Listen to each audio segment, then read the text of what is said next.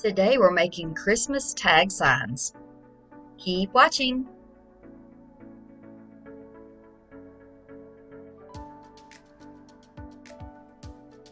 For option number one, I'm going to take these vintage doilies, a box top from Dollar Tree, and a summer tag sign from Dollar Tree. That's how we're going to start. Just pointing out there that there's a faded area, but that won't matter because we have a way to hide that. I'm going to carefully pull those apart. I think they're kind of fragile. I'm going to cut off the tag. I mean the, uh, the hanger. And decide where we want to place it.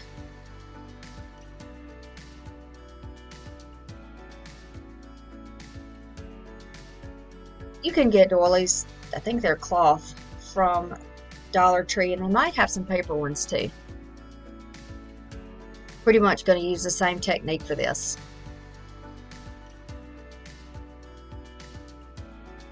So I've decided to slide that box top up to be closer to the top. And I'm going to trim this doily.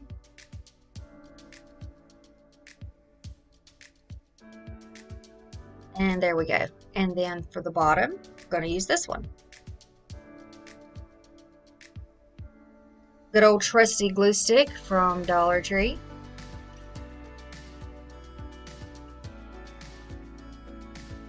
I'm going to gently add that down.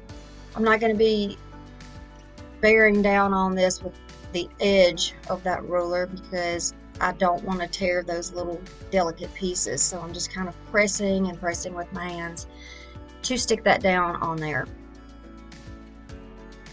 And we're going to do the same thing with the bottom.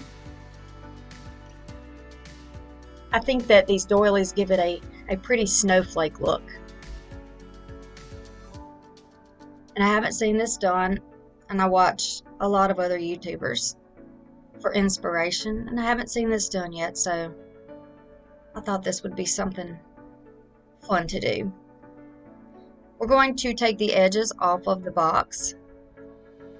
You can cut these off or you can use an X-Acto knife or a rotary cutter. I don't have one of those yet. And then you have pieces left for crafting with later. Or you can do like I did and use a couple of those pieces to trim this out once you get it on the box, on the tag.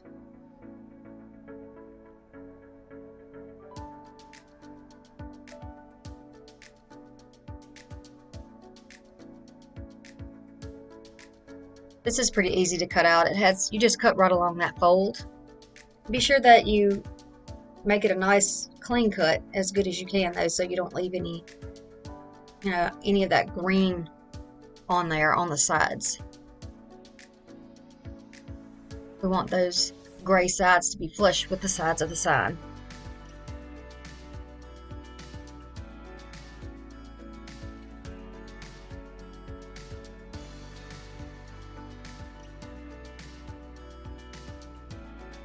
Okay, so to hold this down, I'm just going to use a little bit of hot glue.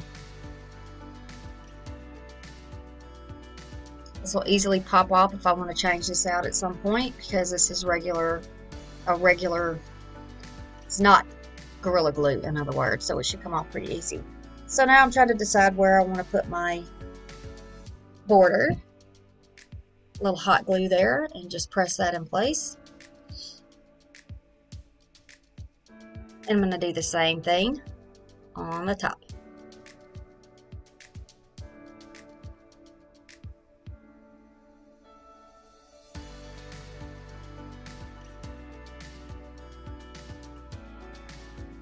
I'm going to take my sanding block from Dollar Tree. Again, I'm on I'm gonna cry if I don't find some more of these soon. Might have to go to Amazon and look for them because I love these. They give the best edging really give a nice look. This is in a fast speed, so you can't really tell, but I am being very gentle around the doily so that I don't pull it and tear it.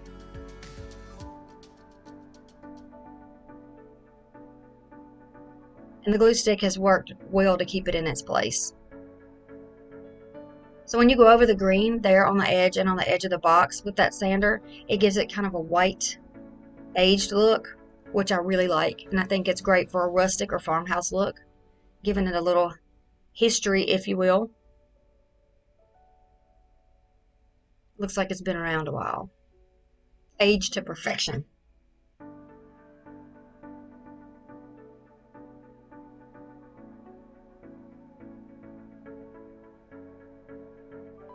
And there we go. So I wanted to add a little extra trim here and I'm taking a little of this jute cord, cutting a piece long enough that we can wrap to the back so we don't have to put any glue on the front. So if you hold it tightly in place, then it'll be in the same spot when you flip it over.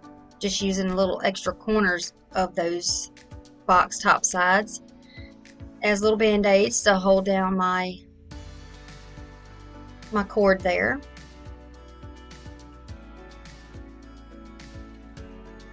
And we want to do that on all the pieces.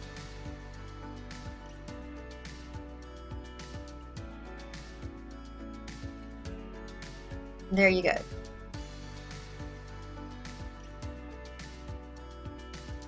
This bow came off of another project, but I'm going to go ahead and show you how I made this so you can make one similar to it for yours. Just use some wired ribbon and you're going to need some jingle bells, whatever color and style you like. Can see that I tore it off of another project. But since it's already made, I'm just going to use it. Now I'll show you how to make the bow. You're going to take a length of wired ribbon, and this is about, hmm, I'd say about 8 inches. You're going to fold it over into a loop or a circle and glue those ends together. Let it cool for a second, cut another piece, lay it on top, squish them together, and then take a piece of cord, ribbon, twist tie, pipe cleaner, whatever you got, and put a knot in it. You can trim that off. Dovetail the ends of the bow.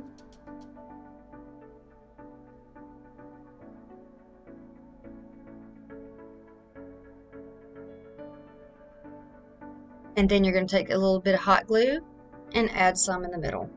That's all you have to do. So I'm going to take this little stick or this little dowel here that I had in my craft stash. I'm going to gently poke a hole back through the doily so that I can make a hanger. I'm going to use a little hot glue on the end of this cord and twist it. That'll give it a nice point that won't fray so that I can easily thread it back through the original holes that the original hanger came through. And you certainly use the original cord if you want to and put it right back on. I want my knots to be in the front so I'm just going to make a little loose knot on each side.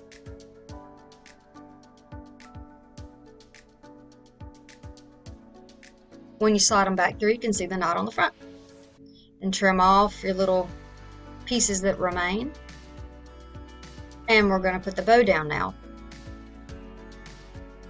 So you want to get that centered and just put that bow up there to complete your look. So this is look number one. This is our red truck Christmas tag.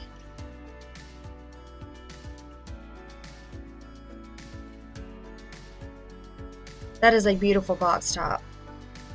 And to think of someone just tearing through it, uh, just breaks my heart.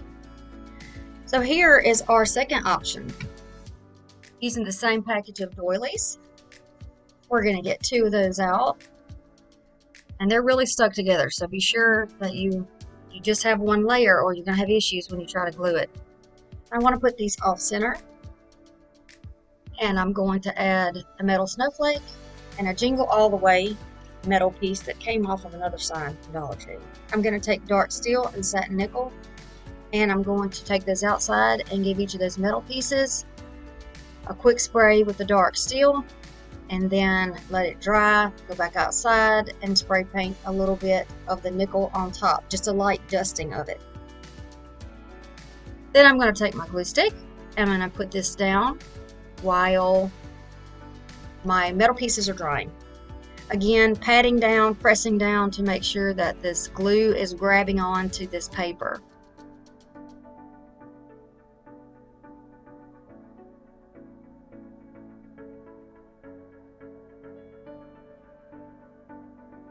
Be careful not to cover the entire board.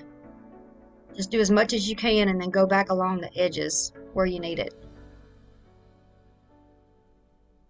Pressing down firmly so that it gets all the little edges. You don't want anything peeling up because if it starts to peel, it could catch on something and just ruin your project. So be sure that you're really getting that down.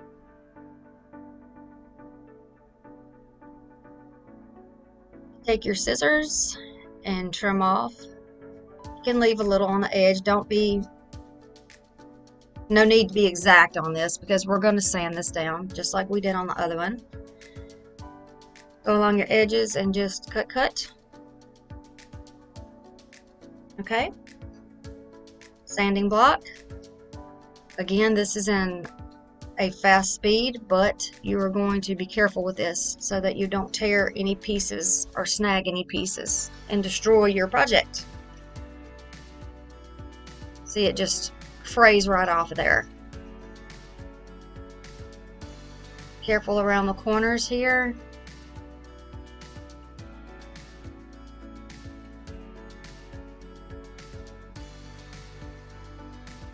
I had to slow it down for you to show you what it looks like, how I really do it. You got to be kind of careful with this.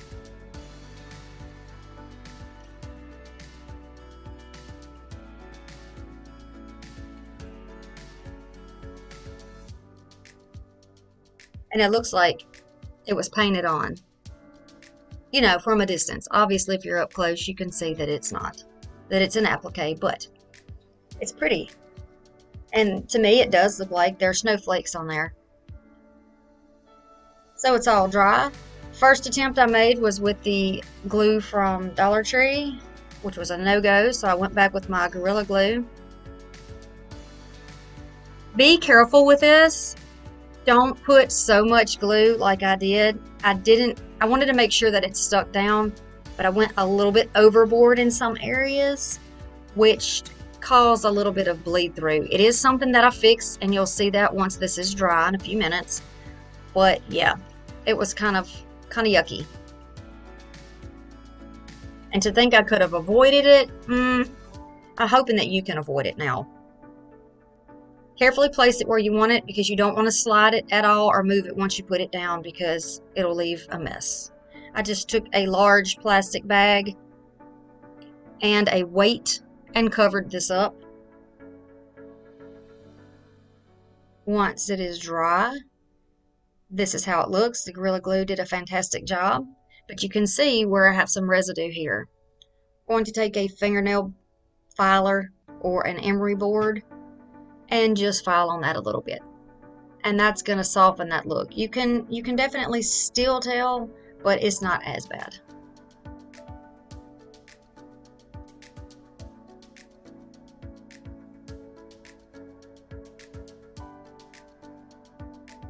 Gotta be super careful around that doily. So see if you can avoid that by just putting on a little bit less paint. That would be great. I've saved the sign that I peeled the jingle all the way from for another project. So nothing's wasted and I, I ended up with two, two projects from one which makes them about 50 cents a piece. Okay, same process as before. We're going to glue the end of our piece of twine, make a knot on the front, pull it through and trim it up on both sides.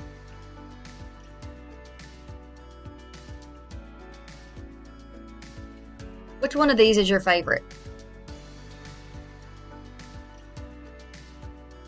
I'm going to make a little bow to go on the top. These are three 12 inch pieces of jute cord. I'm just going to make a little shoestring bow here.